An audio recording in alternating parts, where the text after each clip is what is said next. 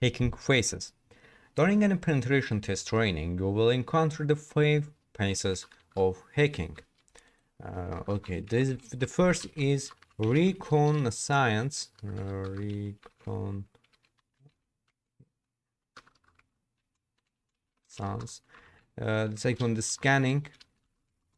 Third is um, gaining access.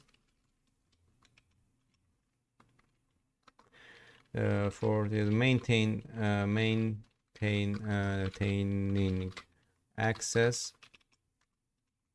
And last phase is covering tracks. Uh, reconnaissance and information information gathering.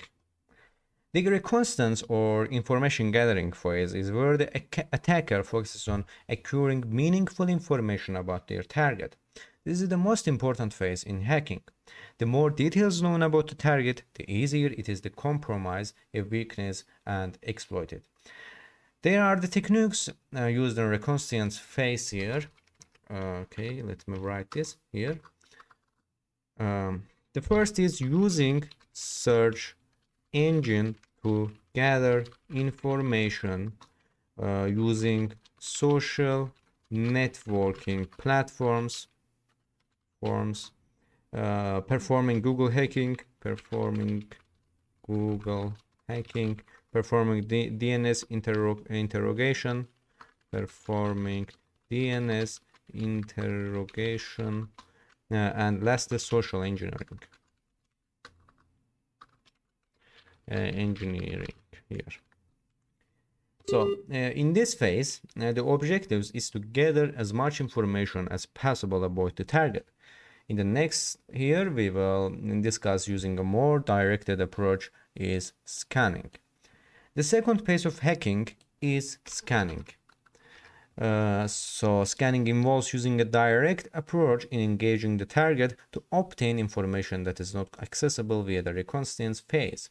So this phase uh, involves profiling the target organization, its system and network inf infrastructure. So there are the techniques used in scanning phase here. The first is checking, uh, checking for any uh, live systems, uh, checking checking for firewalls and their rules and their uh, rules uh, checking uh, checking for open network ports checking uh, for running services uh, checking for security vulnerabilities vulnerabilities and lastly creating network creating a network topology topology of the target network this phase is very important as it helps us to create a profile of the target. So the information found in this phase will help us to move on to performing exploitation on the target system network or network. Gaining access here we have uh, we will now discuss about here. Now this phase can sometimes be the most challenging phase of the all in this phase the attackers uses the information obtained from the previous phases or, uh, to exploit the target. Upon successful exploitation of vulnerabilities the attacker can then remotely execute malicious code on the target and gain remote access to the compromised system.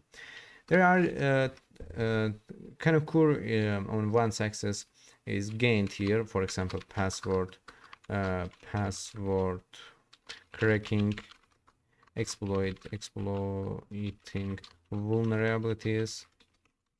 Is uh, is here. And escalating escalating privileges. And hiding files. And lateral movement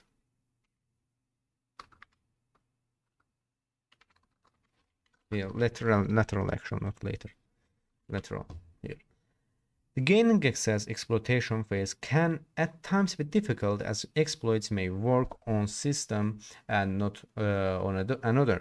Once an exploit is successful and system is uh, access uh, system access is acquired, the next phase is to ensure that you have a persistent connection back to the target.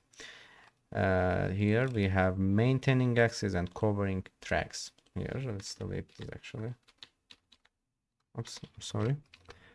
Okay maintaining access.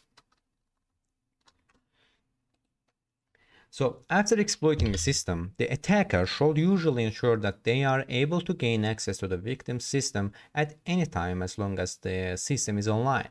So this is done by cracking backdoor, creating, back, uh, creating backdoor access on the target and setting up a persistence reverse or bind connection between the attacker's machine and the victim's system.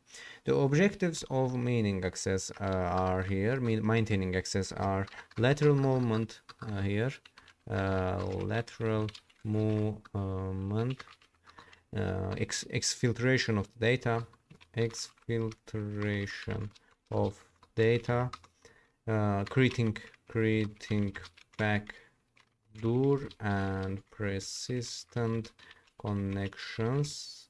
Uh, so maintaining access is important to ensure that you uh, the penetration tester always have access to the target system or network.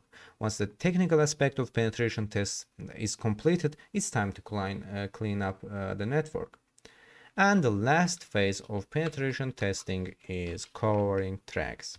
The last phase is to your covered tracks. This ensures that you don't leave any traces of your presence on a compromised system.